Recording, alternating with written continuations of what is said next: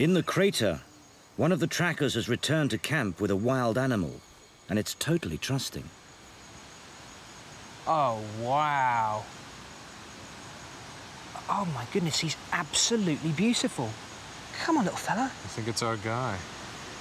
I'm gonna look at his mouth in a little bit and we'll know from his teeth, but this looks right on. This is a dark furred cuscus. It's a montane cuscus.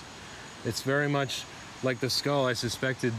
The skull was similar to a different species called the silky cuscus. Yeah. And, and the body is too. It's, you can feel that silky fur.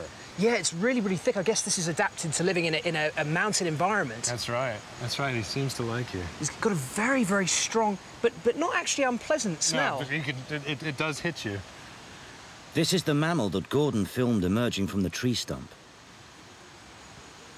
I'm calling this the Bosavi cuscus and because it, I really think it, it has a lot of distinctive features. We're gonna we're gonna find out more as we as we look closer. But I, I just, I can't even begin to describe how it feels to have an animal in my hands that is this beautiful and, in all probability, has never been seen before by science. I think I think what we have is uh, a cuscus that long ago has been isolated on this volcano, and uh, has just uh, not been able to uh, have any contact with any of its relatives, and has become uh, something here in isolation that uh, that is unique to Bosavi.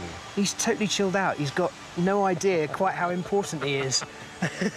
So gorgeous. Yeah, little guy, you're a major scientific discovery. How about that?